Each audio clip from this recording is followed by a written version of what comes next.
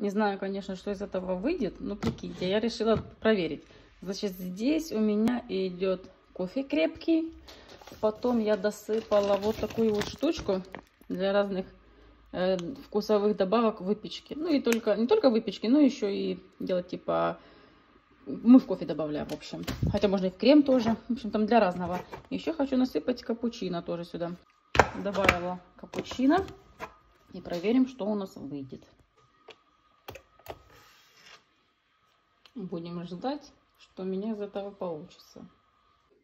Так, ну что, проверяем, что я тут наготовила.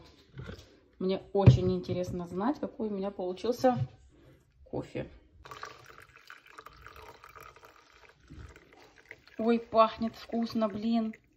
Блин, пахнет очень вкусно. Хотите прикол? Получился вкус.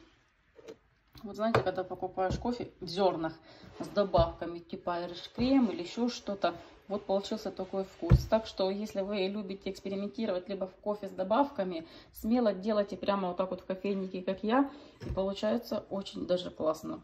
Первый раз в жизни попробовала, я, мягко говоря, удивлена, реально, класс.